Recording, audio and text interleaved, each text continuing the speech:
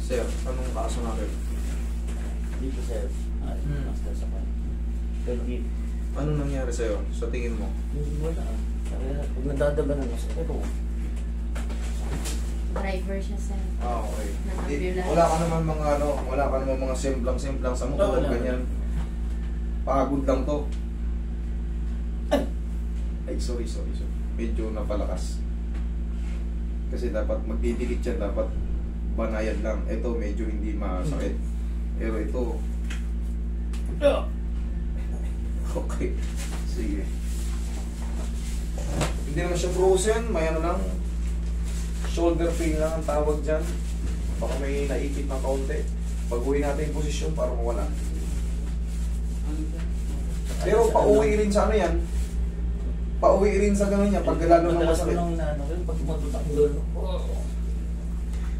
Eh syempre, pag masakit na, ah, susunod yan, mas mababa kasi nasasaktan ka na sa ganito eh. Hanggang sa, hanggang sa umabot na sa balakang. Sige. Pero may uric ako, na ginagamot ko na. May uric ka. Eh kaya, na pero ginagamot ko na yung master. ano yung, eh, gano'ng kataas yung mo? Gano'ng kataas? Parang 300 pa. Hindi ko matandaan. O hindi kasi ang ano niya, 150 to ano, 350.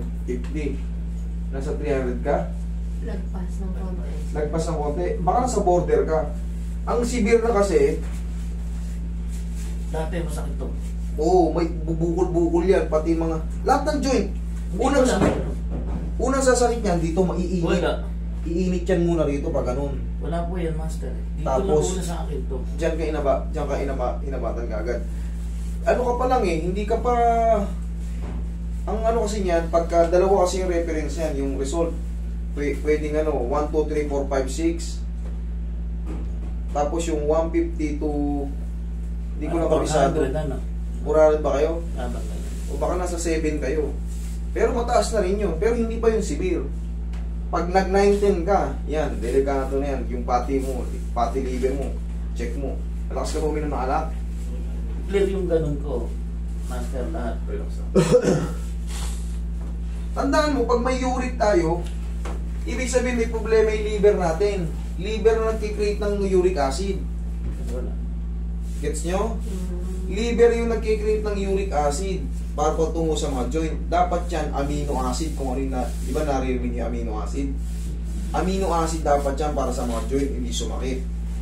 Pag, pag sumabla yung liver natin, ang i-create niyan yung uric uric acid na, mas malagkit. Kaya yung mga joint-joint natin masasakit. Tapos minsan, pagka severe na talaga, yun na, yung bukol-bukol na. Yun yung tinatawag na uric crystal. Para alam nyo lang din, liver ang nagig, nagkakaproblema pagka tumataas ang ano natin. Pag kumakain tayo ng high protein, yan, tayo. Mas nagiging aggressive siya. Ano bang malakas ka? Saan ka ba malakas? Karne-karne? Yung bawat na ako. Dahil nag-maintenance ako ng ano, Okay yan. high blood sa mga. Konting sugar. Konting sugar tapos Pag may sugar tayo, high blood tayo, automatic yan, diabetic na rin tayo yan. tawag magka- ano na yan? cholesterol. Cholesterol, magkaka, magkakapatid yan. Puro sa dugo yan. Puro sa dugo yan. Cholesterol, high blood pressure, yung sinabi mo kanina, Uric. uric.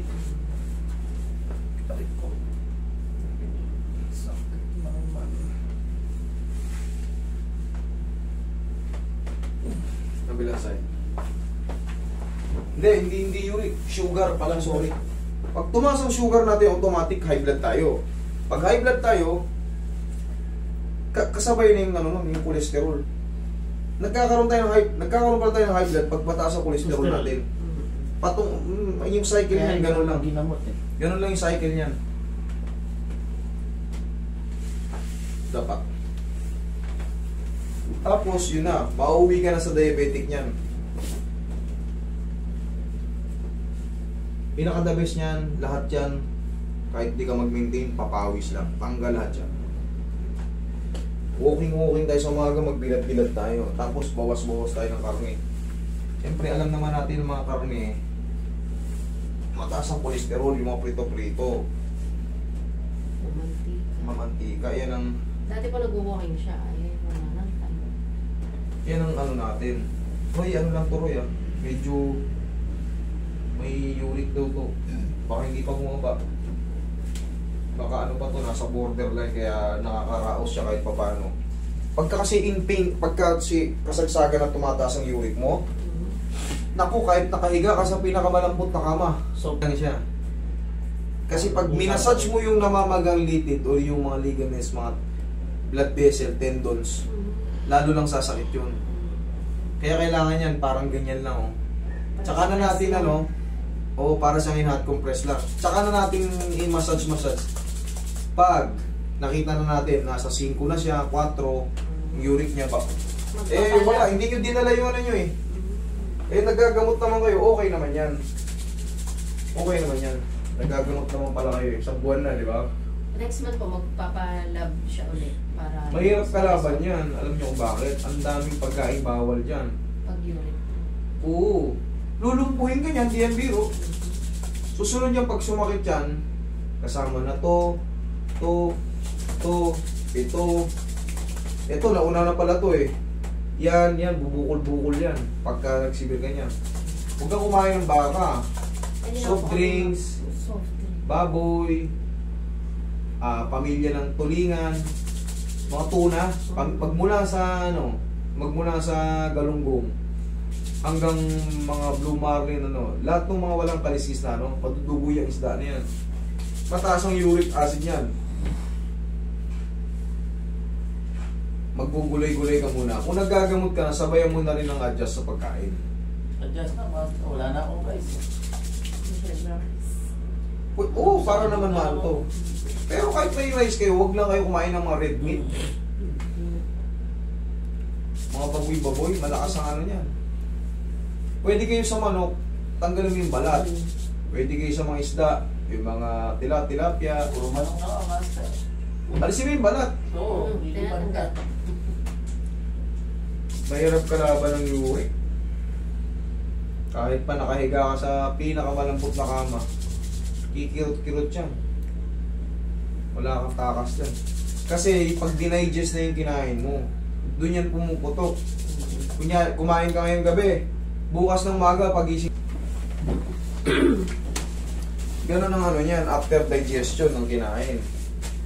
Kasi kung gano'ng kataas yung protein na kinain mo, yun ang buwelta balentong ng uric. Subukan yung i-research. Liver ang nagkikreate ng uric acid. Kaya ang liver ang may problema sa sir. Ang sagot lahat dyan is papawis. Okay? Papawis lang. time eh. Eh, walking lang. Kahit nasa trabaho ka, hayaan mong pawisan ka ron. Mag-walking-walking ka ron. Pagal. Tapos tubig. Yun ang makakapag-save sa mga joint-joint mo. Okay, inhale. Isa ba? Inhale. Exhale. Huwag mong hintayin bumukol-bukol yung mga joint mo. Okay. Diyan ka lang muna. Tapos, ang sagot dyan, kahit pa paano galaw-galawin natin yung mga joint-joint natin. Galaw-galawin natin. Tapos, walking, up, tubig. Yun lang. Okay, upo ka. Ako magpamassage niya. Ganun talaga sa mga joint-joint kasi sirain yan.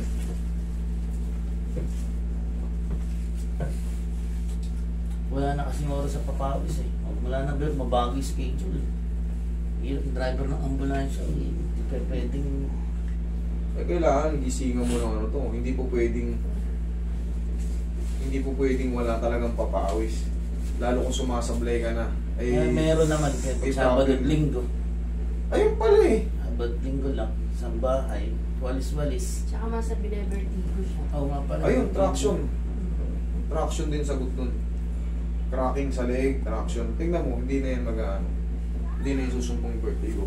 Kasusumpong Baka yung binivertigo siya kasi sobrang puyat din. Kasi baliktad na yung ano mo eh, schedule mo eh.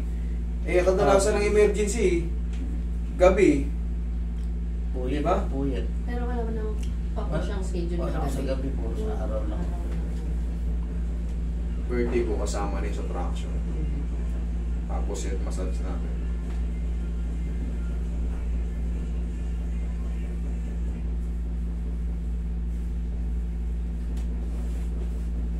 Yun lang, kailangan mo lang ng papawis, sir. Yan ang sagot dito. Sa ayaw mo sa hindi, papipilitan ka, mamamaga ka kasi dyan pagka, pagka tinamaan ka ng uric. Puro ano na nga eh. Puro nasa aircon lang kasi maghapon kaya hindi pinapawisan.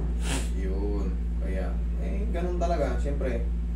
Tapos, kain ng kain, pondo ng ano. Nagkaka-fatty liver tayo.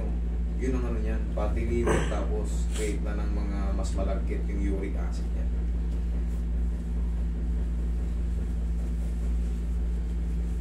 Ito. 50 each na. Buhay na yan. Hmm. Nagagawa ko sa inyo. Ayan, kita mo Hmm? kanina, pag ginanyan mo, masakit. Okay yan. Kahit pa paano. So kapag nadadaganan sa higaan, O, di na ganun sa igaan. nakangawit. Hmm. Okay? Siya ganyan din eh. Ganun lang, huwag mong paganyan kasi bumababa lang yan, mali yung ganyang stretching. Ah, Ganun, ganun lang. Kasi hindi naman kailangan yung, pati siko mo dun maapektuhan eh. Hindi kailangan yung ganyan. Ayun, lagi ko Ah. ginaganito tumas. Hindi, lalo lang sasakit. ginawa daw siya pagka sinuntok niya. Kasi Ganit- tumutunog. Pag ganito, tapos pag ganyan, oh. Pababa. Pag, pag ganito, pati siko mo, Ayun nga, ayan, no? masakit. Oo. Oh, eh, sus. Kaya pala eh.